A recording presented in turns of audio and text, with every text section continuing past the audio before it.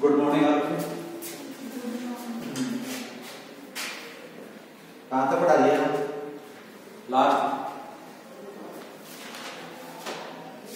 ये शब्द जल या एक्चुअली आवासों में पाए जाते हैं संप्रांत ऊपर मोलस्का के बारे में पढ़े थे वर्गीकरण और अपन ने पढ़ लिया था कि उपवर पल्मोनेटा ना पल्मोनेटा के लक्षण हो गए थे तो इस हेडिंग को देखो उपवर पल्मोनेटा ये लिखने नहीं मैंने लगा रखी है उपवर पल्मोनेटा ये पढ़ रहे हैं वर्ग नंबर से तीन नंबर का है इसमें हेडिंग लगाओ इसके लक्षण हो गए उपवर्ग पल्मोनेटा इसमें हेडिंग लगानी है। उपवर्ग पल्मोनेटा को दो गणों में बांटा गया है। उपवर्ग पल्मोनेटा को कितने गणों में बांटा गया है? दो गणों में बांटा गया है। दो गणों में। एक नंबर गण है बेसोमेटोफोरा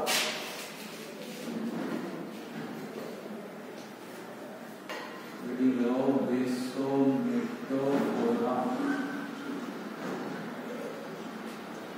बेसोमेटोफोरा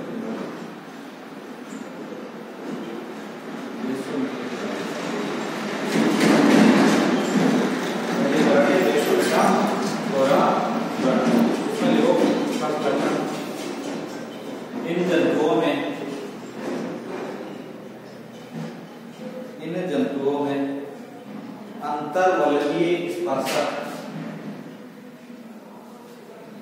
अंतर्वलगीय स्पर्शक अंतर्वर्गीय स्पर्शक पाए जाते हैं इन जंतुओं में अंतर वर्गीय स्पर्शक पाए जाते हैं दो नंबर लिखो नेत्र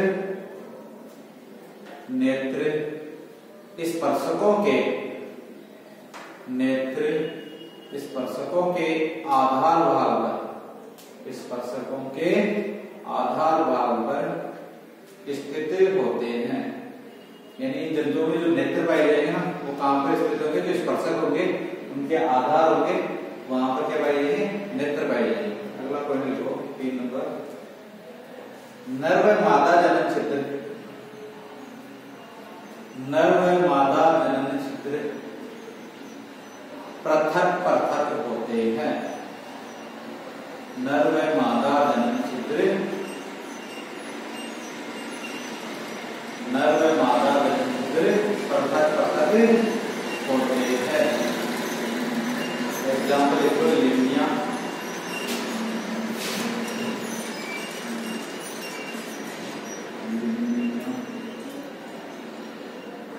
लिमिया और प्लेनोर्बिस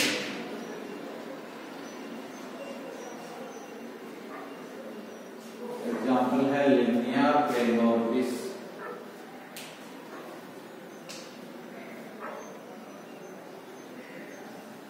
लिमिया प्लेनोर्बिस लिख लिया अगला दो नंबर गण है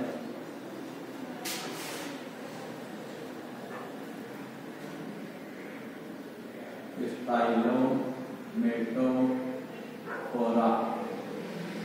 स्टाइलोमेटोफोरा दो नंबर गण पल्मोनेटा दो नंबर गण है। स्टाइलोमेटाफोरा हेडिंग लगा लो। लगाइए। इसमें लिखो, इन जंतुओं पर इन जंतुओं पर अंतर्वलनीय स्पर्शक पाए जाते हैं। ऐसे इन जंतुओं में अंतर्वलनीय स्पर्शक पाए जाते हैं। पाए जाते हैं। दूसरा पॉइंट लिखो नेत्र। नेत्र। दूसरी जोड़ी नेत्र, दूसरी जोड़ी स्पर्शकों के शीर्ष पर स्थित होते हैं। नेत्र, दूसरी जोड़ी स्पर्शकों के शीर्ष पर स्थित होते हैं। जबकि बेसोमेटाफोर में क्या थे? स्पर्शकों के आधार पर स्थित है नेत्र। जबकि इसमें क्या है? स्पेरोमेटोफोरा में क्या है कि स्पर्शकों के ऊपर नेत्र पाई जाएगी अगला पॉइंट है थर्ड नंबर नर व मादा जनन छिद्र। नर व मादा जनन छिद्र। नर व मादा जनन छिद्र। संयुक्त होते हैं। नर व मादा जनन छिद्र संयुक्त होते हैं। संयुक्त मतलब जुड़े हुए पास पास में जबकि उसमें कैसा था पृथक पृथक है ठीक है? एग्ज़ाम्पल है हेलिक्स। एग्ज़ाम्पल है हेलिक्स। और में लो स्थलीय गुंगा स्थलीय गुंगा हेलिक्स और Limax. Slug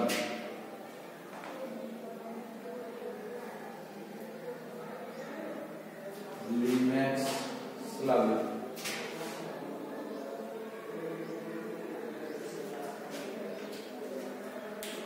example लिख लो हेलिक्स जिसे बोलते हैं स्थलीय गोंगा और लिमैक्स स्लग अब है हेडिंग लगाओ पाँच नंबर वर्ग पहले से कोडा पहले सी कोडा पहले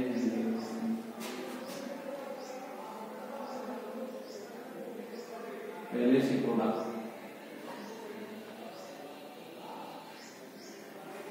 वर्ग नंबर पाँच पहले सी कोडा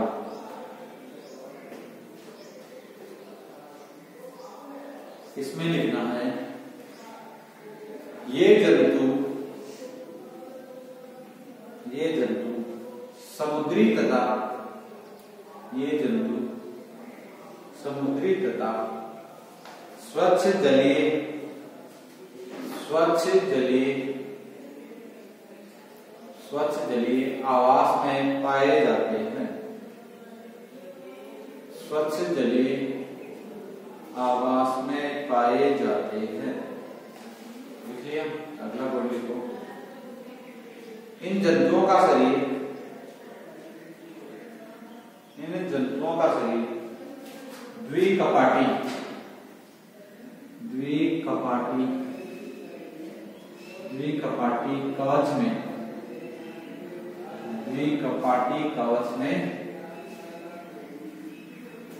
बंद रहता है।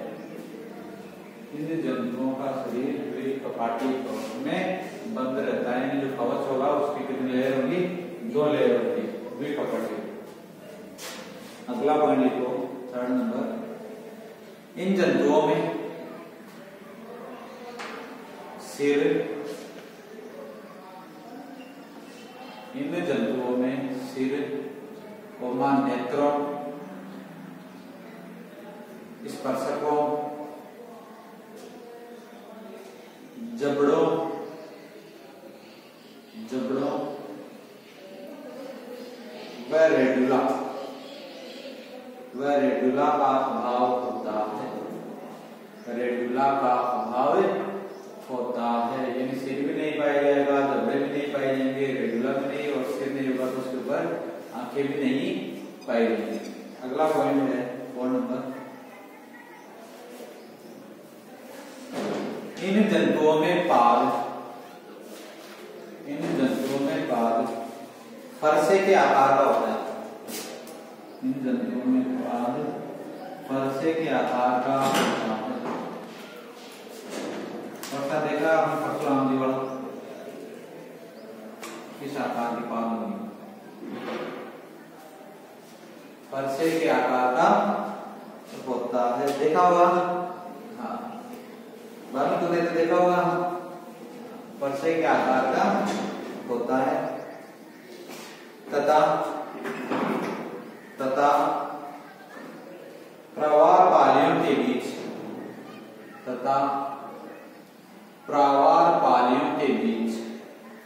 फैला रहता है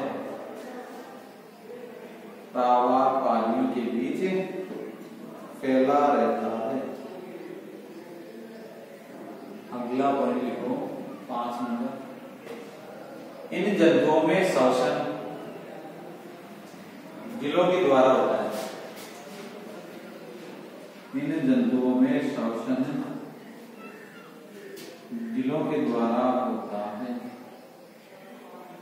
इन जंतुओं में श्वसन गिलों के द्वारा होता है गिल पतले गिल मछलियों के साइड में पाया जाता है श्वसन के लिए कांस दृश्य रचना जो श्वसन के लिए यूज़ की जाती है अपने तो नोज़ आता है मछलियों में गिल आता उससे समान इन्हें जो ये जंतु है पैरों में सब उड़ा के उनमें भी क्या पाई जाएँगी? गिल्स पाई जाएँगे।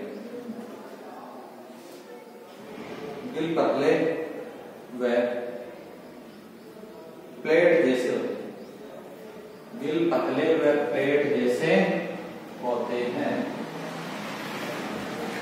गिल पतले व प्लेट जैसे, गिल पतले व प्लेट जैसे होते हैं। लिख लिया। अगला पॉइंट लिखो। छह नंबर लिखो। ये जंतु ये जंतु एक लिंगाश्रयी होते हैं। ये जंतु एक लिंगाश्रयी होते हैं। एक लिंगाश्रयी से मतलब समझ गए? भाई, एक तो नर नर होगा और एक मादा जंतु होगा। दोनों कैसे होंगे? अलग अलग एक लिंगाश्रयी होते हैं या इसे दूसरी भाषा में अपन पृथक लिंगाश्रयी जंतु भी कह सकते हैं। लेकिन उभय लिंगाश्रयी नहीं कह सकते। अगला लिखो पॉइंट परिवर्तन अप्रत्यक्ष। परिवर्तन अप्रत्यक्ष होता है। परिवर्तन अप्रत्यक्ष होता है परिवर्तन अप्रत्यक्ष होता है तथा तथा लार्वा वेलिजर या ग्लोकीडियम होता है। तथा लार्वा वेलिजर या ग्लोकीडियम होता है। ग्लोकीडियम। ग्लोकीडियम होता है। वेलिजर या ग्लोकीडियम होता है। लाइट चेंज करके हेडिंग लगाओगे इस वर्ग को चार वर्णों में बांटा गया है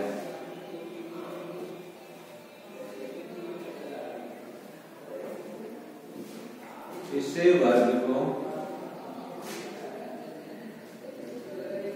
चार गणों में बांटा गया है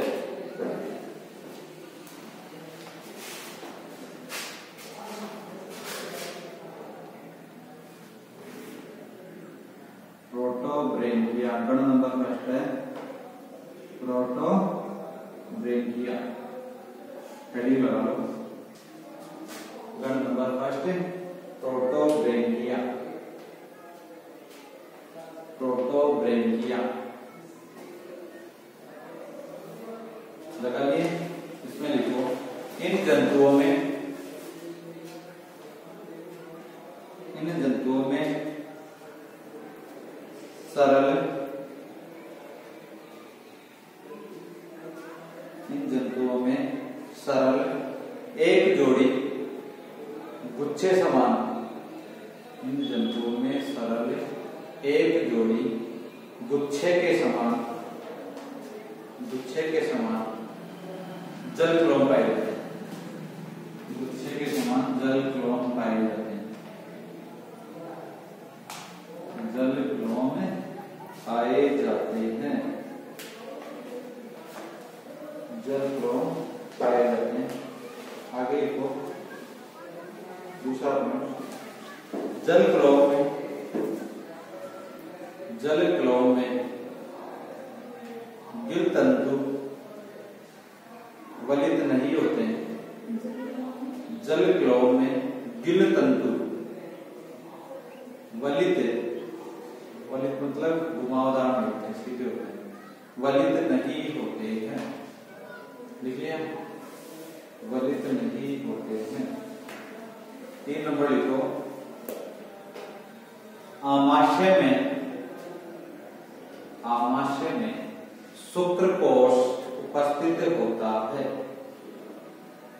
आमाशय में शुक्र कोष उपस्थित होता है एग्ज़ाम्पल है मिकुला मिकुला एग्ज़ाम्पल है मिकुला ओर्डिया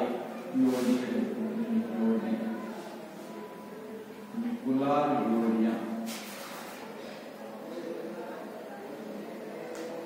गण नंबर दो है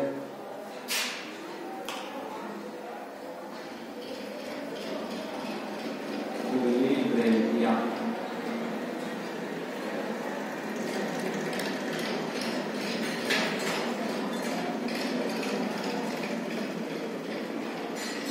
गण नंबर दो किल्ली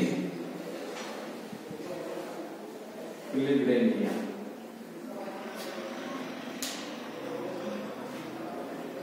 किल्ली ब्रेलिया लिख लिया इसमें लिखो फ़र्स्ट नंबर पर लिखो इन जंतुओं में एक जोड़ी प्लेट समान इन जंतुओं में एक जोड़ी प्लेट समान जल क्लॉम पाए जाते हैं इन जंतुओं में जोड़ी प्लेट समान जल क्लॉम पाए जाते हैं। दो नंबर लिखो। जल क्लॉम में जल क्लॉम में जल क्लॉम में गिल तंतु, परतदार, गिल तंतु, परतदार। वह अपूर्ण रूप से जुड़े हुए होते हैं गिल तंतु परतदार वह अपूर्ण रूप से जुड़े हुए होते हैं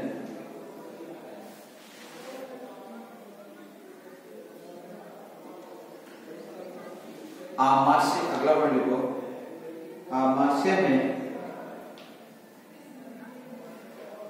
आमाशय में काइटिनी काइटिनी जठर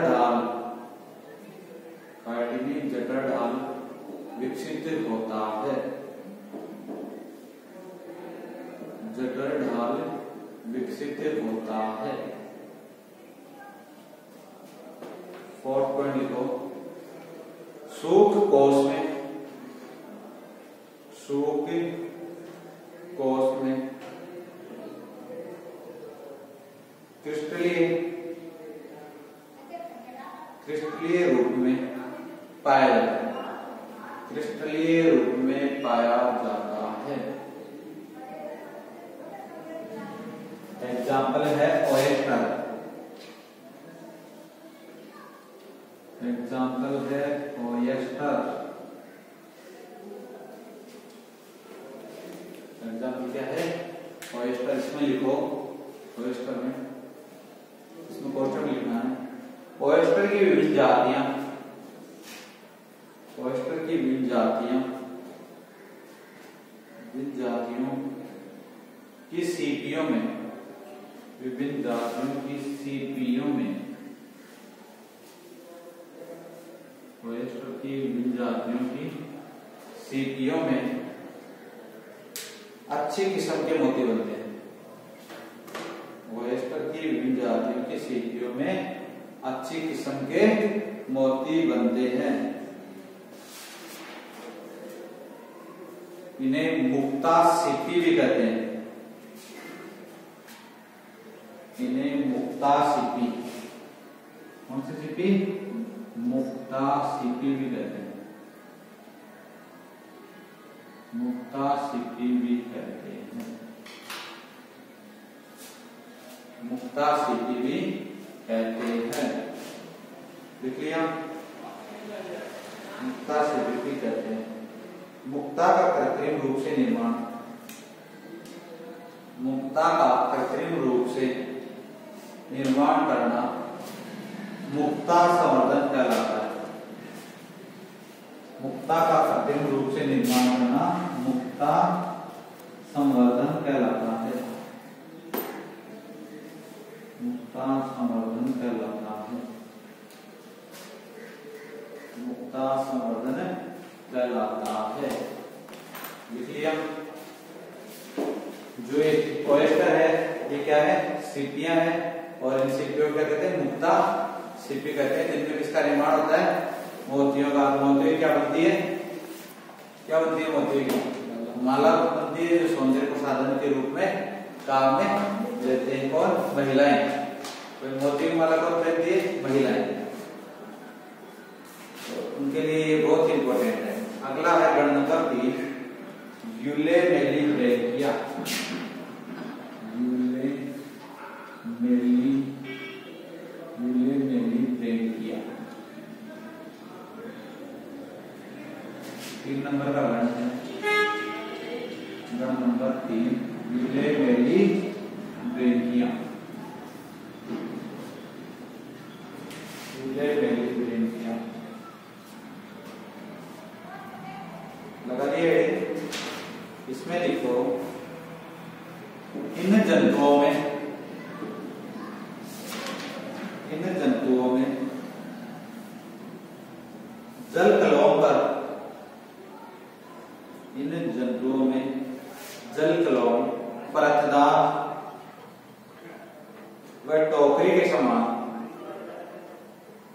वह टोकरी के समान होते थे।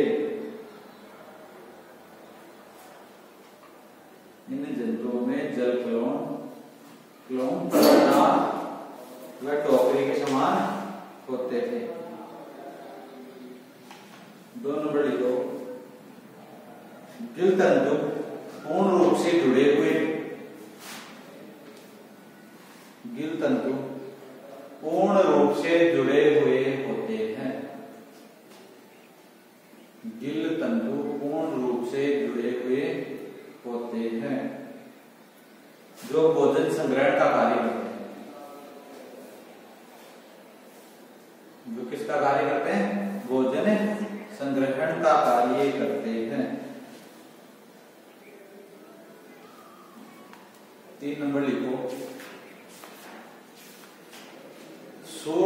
cos su cos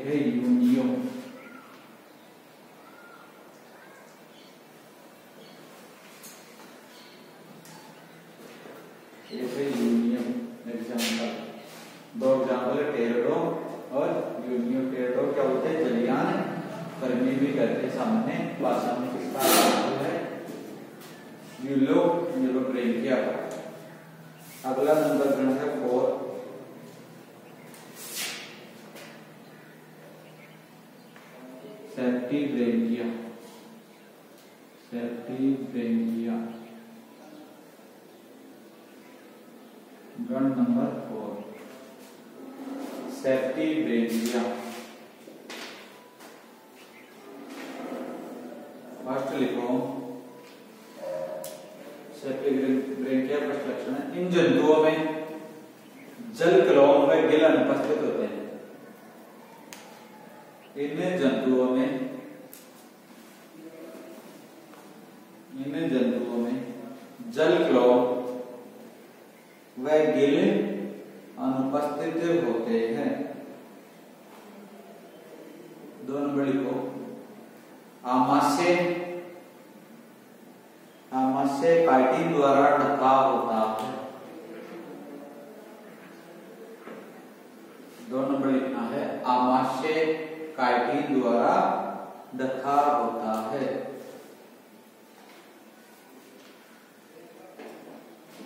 तीन नंबर लिखो। पाद लंबा है, पतला होता है।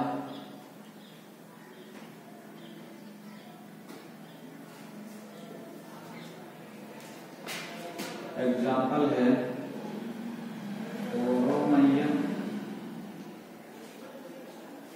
और एक है कैस्पिडेरिया। कैस्पिडेरिया। एग्ज़ाम्पल है थोरोमैया और कैस्पी कैस्पिडेरिया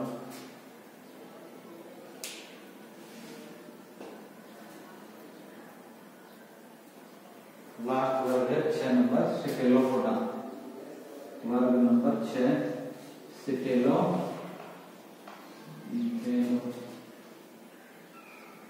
सिकेलोफोटा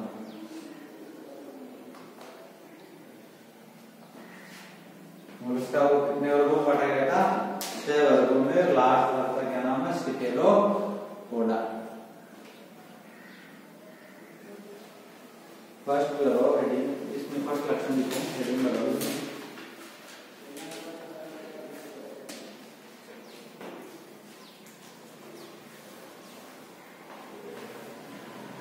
ये सभी जंतु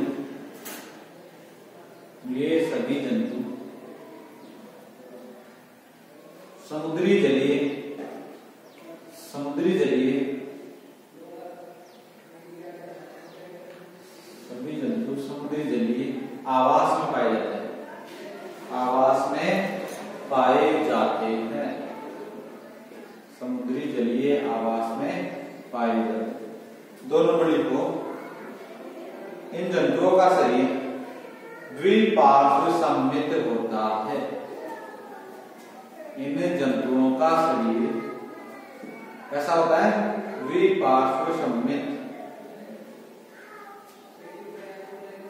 अगला पॉइंट लिखो, तीन नंबर। इन जंतुओं में कवच, बाह्य,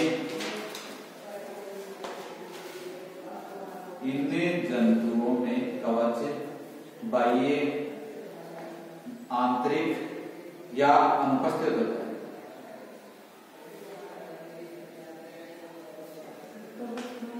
बाह्य या आंतरिक या अनुपस्थित होता है।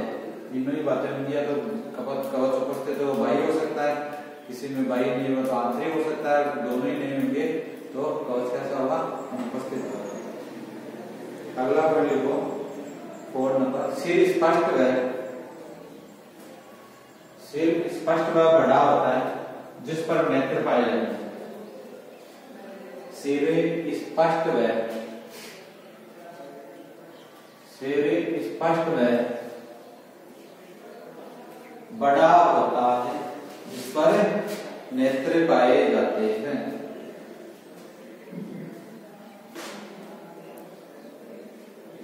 अगला पॉइंट लिखो।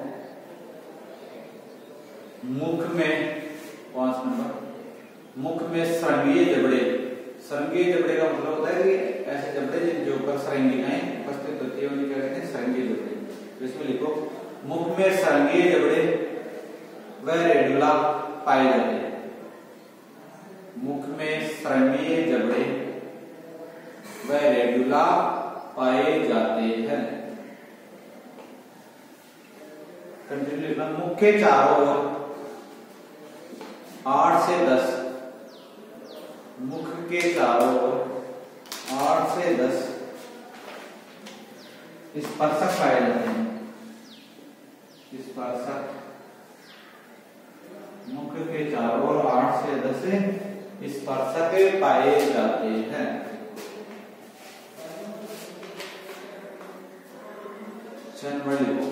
इन जंतुओं में परिसंचरण बद्ध प्रकार का होता है।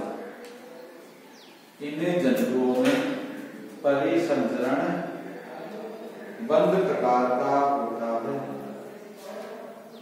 अगला पॉइंट लिखना। सातवां। तंत्रिका तंत्र। तंत्रिका तंत्र गुच्छक। सिर से जुड़ा होता है। सिर से जुड़ा होता है। अगला पॉइंट लिखो। श्वसन के लिए गिल पाए जाते हैं श्वसन के लिए गिल